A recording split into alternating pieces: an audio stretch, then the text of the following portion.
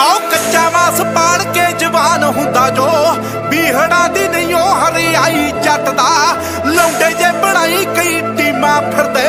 ਆਓ ਕੱਲਾ ਕਿਹੜਾ ਚੁੱਪ ਦੇਖ ਪੋਤੀ ਜੱਟ ਪਿੱਠ ਕੀ ਕਮਾਈ